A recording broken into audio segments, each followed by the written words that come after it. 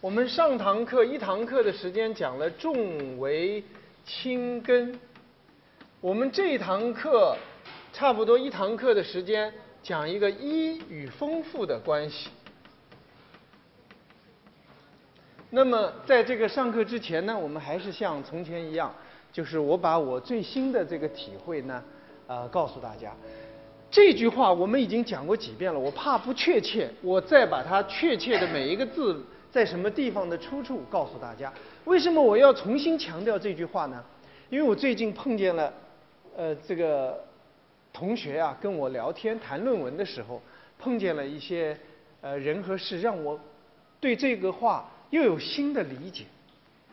我就发现啊，呃，你们这个大学四年要学到很多知识。也听到很多课，但是啊，但是同学们，我突然发现啊，呃，很多同学，这个大学四年啊，什么都没有记住，学的也不扎实，但是相信了一句谎言，这个世界上最大的一句谎言，你们花了四年的时间，把它听到耳朵里，装到心里面去了。什么谎言呢？就是说，你们从前那些想法。不行的，是行不通的，在这个社会上是行不通的。你们起初的那些想法，这个是世界上最大的一句谎言。但是你们花了四年的心血，相信了这个，这不是我的编造。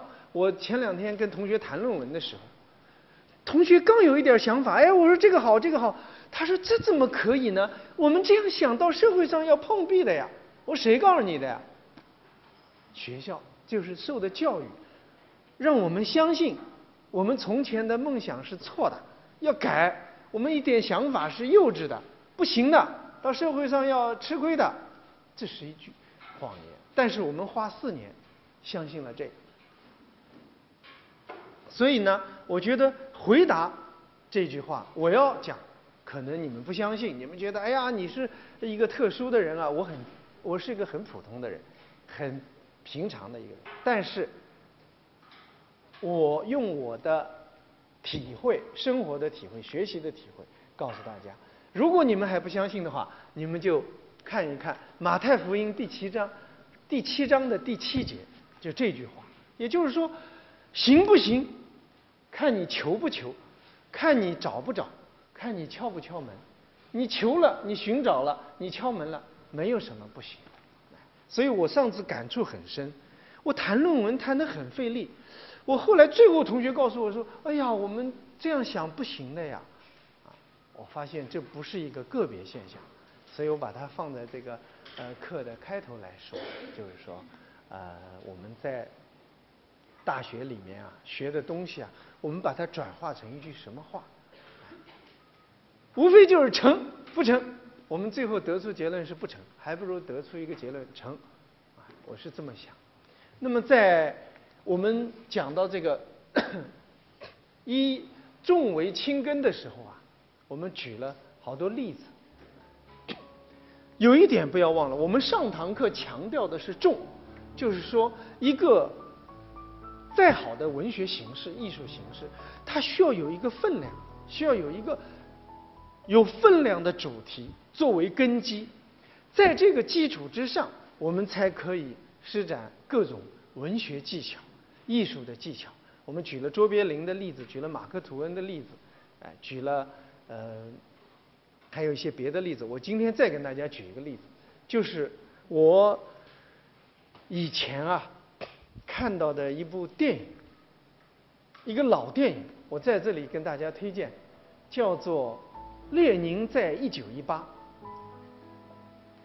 列宁在一九一八当中啊，有一个角色，有一个英雄。在我们一群孩子当中，因为我们当时童年的时候啊，每个人的世界都很小，说小也大。他一个院子好像整个宇宙一样，也就那么十几个孩子。在我们这十几个孩子当中，最佩服的一个英雄，就是列宁的卫队长。列宁的卫队长，这个人啊，走路摇摇晃晃的，梳着小分头，按我们当时的话讲，有点不正经。然后呢，他在工人当中宣传革命道理，他是保护列宁的，宣传革命道理。他每次讲革命道理的时候，说同志们安静安静，然后拿出个小梳子来，一吹，这样梳梳脑袋。然后我们那个时候小的时候，我们一大群孩子，每次要讲话的时候说同志们安静安静，我们也这样梳梳头。哎，这种小动作，这个眼神，我们从文学上来讲，他塑造的非常的成功。然后他跟那些呃这些反面人物，跟资产阶级啊，跟这些敌人斗争的时候，讲的都是工人的话，这些呃这个临时政府的人要来缴工人的枪的时候，结果工人都拿着自己的枪把他们围住了，然后他拍拍那个人肩膀说：“我们这儿的人有点火气大，有点火气大。”哎，就是这样的一个人。但是这个人在怎么样呢？最关键的时候，当他发现。这个得到情报有人要刺杀列宁的时候，他在一个资产阶级的宴会上，他觉得这个情报一分一秒也不能耽搁，他就从这个楼上，从一个二楼上冲出这个玻璃窗就跳下去了，从很高的地方跳下去，跳下去的时候他高喊一声“瓦西里”就跳下去了。所以我们小时候从很高的地方不敢跳，我们喊“瓦西里”就跳下去，瓦西里这样，瓦西里是列宁的贴身警卫员。然后他跳下去以后就见到了瓦西里，瓦西里他就告诉瓦西里什么人什么人是叛徒，他们要刺杀列宁，瓦西里就得到了这个情报，但瓦西里来不及去管他了，因为他要去救列宁，就把他交给了另外一个人，结果那个人是个叛徒，那个人是个叛徒，拿出手枪把他杀害了，因为当时我们就特别心痛，所以我后来就在讲啊，这个重和轻，就是。在文学上啊，有一个重要的原则，就是相反的两个方面是相辅相成的。比如说重和轻，比如说纯洁和堕落，啊，各方面，比如说这个人的勇敢啊，这种粗犷和细腻，很多东西它正好是并存的，它不是矛盾的。正因为这个卫队长平常有点不正经，所以关键时刻他最讲原则，他可以去牺牲，哎，所以这个印象给我们很深。但是我们看到很多反面教员，什么叫反面教员？我们文革的时候的电影，我们现在重新拿来看，包括样板戏啊什么，我们依然可以想到那个时代。但是很多时候，我们用重来说重。是我们从前的错误，就我们什么事情都太沉重了。我们以前讲，这个人是马列主义老太太，她上来就给你上政治课啊，你怎么这样这样？我们看到她烦死了。本来姓马列的也不信了，为什么？就是以重来说重就错，而现在呢，以轻来说轻也不对，就搞笑，就小沈阳是吧？就是轻轻到最后就变成羽毛，大家就就到干脆就到那个什么，到那个什么。洗浴中心里面，哎呀，那些吃吃喝喝，那些堕落的人裹着一个浴巾，然后大家讲一些黄段子，糟糕了！我有一次不小心碰到了，我受不了。我在任何场合受不了，我赶紧就走了。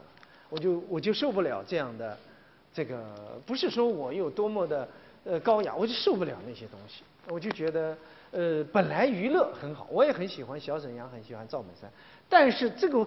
就是这个趋势这么掉下来了，就是以轻来说轻，大家理解吗？就不好了。从前以重来说重，就不对了。所以在我们心目当中，一个一个的英雄都垮掉了。就我们，我惊讶的发现，我们从小心目当中，我们是一个生活在一个英雄主义的年代，所有塑造起来的英雄，在我们孩孩童当心目当中全倒了。雷锋、王杰、黄继光、董存瑞。一系列的英雄人物，高大全，金光大道当中的高大全，哎，全部就崩溃了。都是什么道德楷模？焦裕禄这些人，道德楷模，他是不真实的。他这个人不能是这样的，他是一个，他是一个，怎么说？变成了一个偶像，变成了一个雕塑，不真实的，单面的，僵硬的。反而是谁留下来了？魏队长留下来了，保尔柯察金留下来。保尔柯察金为什么留下来？哦，后来我们才发现，原来保尔柯察金留下来，不是因为他有共产主义的理想啊，去奋斗去牺牲。这样的人很多，为什么留不下来？哦，因为他身上还留着一点小资产阶级的情绪。他跟这个东尼亚的这个青春时期的这段爱情特别美好。我们那个我自己看书的时候，我现在也不怕这个把自己最隐秘的东西告诉大家。我看《钢铁是怎样炼成》，我从小就看，总是看。他们少年恋爱的那一段，哎呀，他跟东尼亚怎么认识啊？怎么样跑啊？林武官的女儿啊，他怎么看见他们一起去钓鱼？看见一个一个叫维克多的那个那个恶少来欺负东尼亚，保尔怎么样蹲着跟那个呃他的那个老师学的拳，一拳把他打倒，打翻在那个呃水潭里面。我看了五十遍不止，哎呀，我一直看那一段，后面我就看得很快了，哎，后面反正就共产主义理想了。我后来发现啊，肯定不止我一个人这样，但是承认，我敢承认，很多人不敢承认。为什么我敢承认呢？因为我发现这不是我个人的审美欣赏，这是一个艺术的规律。也就是说，一这个小资情调和坚定的共产主义理想，同志们安静安静，啵啵吹吹头，和那个瓦西里跳下来为了列宁去牺牲。这恰恰是并存的。我们在心目当中没有刻意的选择英雄，啊，我非要信苏联的英雄，我不相信中国的英雄，我绝不是这样的人。中国要有个好英雄，我巴不得崇拜他一辈子。可是这些英雄一下就崩溃了。随着年龄的增长，雷锋不真实。这个不是说雷锋这个人不真实，可能雷锋这个人比我们塑造出这个英雄还要可爱。我们塑造出了一个单面的一个概念化的雷锋，所以我们现在谁在说学雷锋？大家啊，好好好，学雷锋。雷锋是个概念，他不是个真人，不是雷锋的错，是塑造雷锋的人犯了错。就我们要把它还原成一个真实的人，在文学上就要还原成一个真实的人，而这个真实的人，他的内心越有差距，越有矛盾，就越丰富。就好像一个时光，时光要。有白天和黑夜才叫时光，一个光有黑夜、光有白天就单调了，是吧？我的 名句，我在我呃这个不久前出的书当中讲到这个时间，我写汉语就有感觉。两大家看这儿有个日，这儿有个日嘛，两个两个日，我中间有一句我就说，时间含着两个太阳，一个冉冉升起。一个承诺东方，那时间不是含着两个太阳吗？就是一个升起，一个东，就是说过去的事情过去了，有一些事情正在来。就好像我一个朋友，他也做一个文字游戏，他说他在一个歌词当中写：“我爱你的每一天都是两天，一天是时间，一天是空间。”我觉得这也是一个好的表达方式。那么就是说，无论怎么样，我们要让一个单调的东西。变丰富，你看这个圣经，它设计的很好。这儿是黑的，哎，这就是红的，红与黑，它有一个对照。它不能说这儿黑的，这儿也黑的，都是白的，或者都是黑的都不好。它有一个对照。我再跟大家举一个例子，也是我最新的一个发现，就是说我刚才讲的卫队长这个例子，大家能理解吧？就是反而是那些所谓的不正经的，最后正经了。所谓的越是。有这种软弱的一面的人，他才坚强。我记得那个拳王泰森，我原来很喜欢看他打拳，后来咬那个霍利菲尔德的耳朵那个人，泰森拳王泰森，他说过一句话，人家问他你上拳台你怕不怕？他说当然怕。他说不怕是假的，他说但是呢，我能够战胜这种恐惧。所以有如果有个人他根本就不怕，这个人是木头，他也不存在勇敢。勇敢的人不是怕不怕，而是他能够战胜恐惧，理解吗？不是意识不到危险，他能够战胜这种危险。所以我们在塑造人物的时候，包括了解自身的时候，我们有一面，比如说托尔斯泰，他写《复活》的时候，他就发现了那个刘道夫也可能就是他自己，很可能就是他自己，有很卑劣的一面，和一个女仆有一夜风流，最后把人家抛弃，但是呢。正因为他发现了自己很卑劣的一面，他就要寻求特别高尚的一面。所以有人讲托尔斯泰是个道德楷模，什么说教太多，错了，他们不理解。复活的开篇复活的整个主线，就是因为他发现自己有卑劣的一面，他才复活的。不是说我上来就是道德楷模，错了。他就发现这个你和刘道夫原来就是和这个卡秋莎一夜风流之后把人家抛弃了，结果人家怀孕了没办法，最后又堕落了。他觉得这是他犯的罪，所以他上来意识到人有软弱的、有卑劣的一面。圣经当中也是意识到这一面，就像圣经当中有一个。片段就是讲这个彼得三次不认。大家如果去巴黎圣母院，我们会看到有个神圣的雕像，有很多神圣雕像，其中有一尊是圣彼得的雕像。可是圣彼得他做了一件什么事呢？耶稣在临上十字架以前，他说：“彼得，你在天亮之前必然三次不认主。”彼得说：“不会啊，主啊，我肯定会认你的。”结果耶稣给抓起来了。抓起来以后，那守兵就问他：“你认识这个人吗？”彼得说：“我不认识他。”怕了呀，又问他：“你再看看，认识这个人吗？”啊，不认识他，不认识。这什么行为啊？叛徒行为啊！要在我们这个过去的这个革命原则当，这种人就是叛徒啊。好，天快亮的时候，又问他：“你到底认识不认识这个人？”彼得说：“我不认识他。”最后，天亮了，鸡叫了，彼得痛哭流涕。哎呀，说主啊，让你说准了，三次不认主。下面就是圣经当中有一句话：“总要警醒祷告，免得入了迷惑。你们心灵固然愿意，肉体却软弱了。所以说，人呢都有软弱的一面，软弱的一面不要紧。正因为有软弱的一面，我们意识到它，我们要战胜它，而不是说我这个人生来就坚强，那是个假人，那是个木头人，理解吗？所以这一次我看到一个，呃，日瓦戈医生，我跟你们隆重推荐啊，这是一九五八年的。诺贝尔奖获得者日瓦戈医生，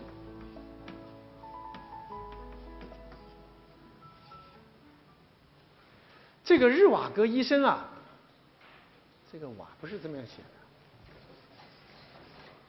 怎么写？就是这样写的，啊？我越写越不像啊！日瓦戈医生啊，他。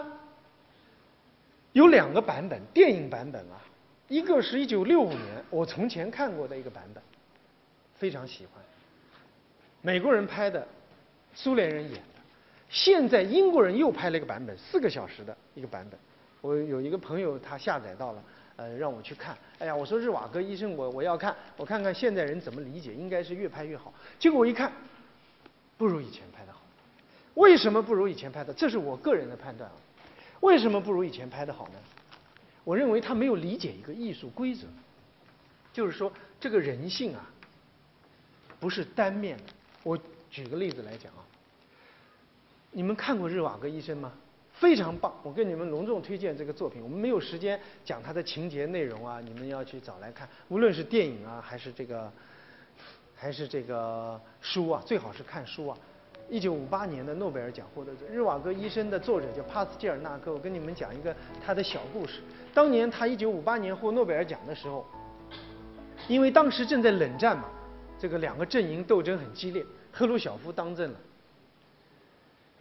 诺贝尔奖颁给他，因为他在一些作品当中，哎，客观的面对了十月革命，包括斯大林的暴政时期知识分子的一些心态。所以呢。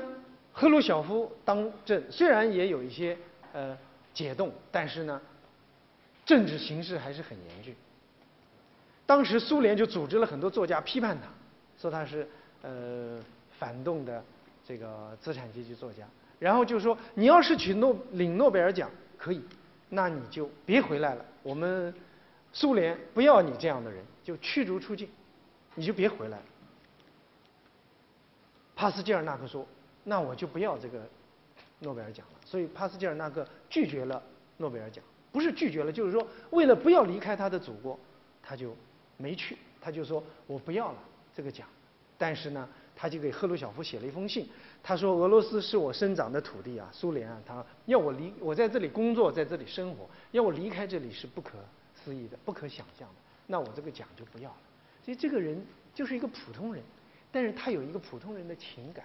一份情怀，因为我们中国人现在的知识分子，我认为缺的不是这个那个，是这份情怀。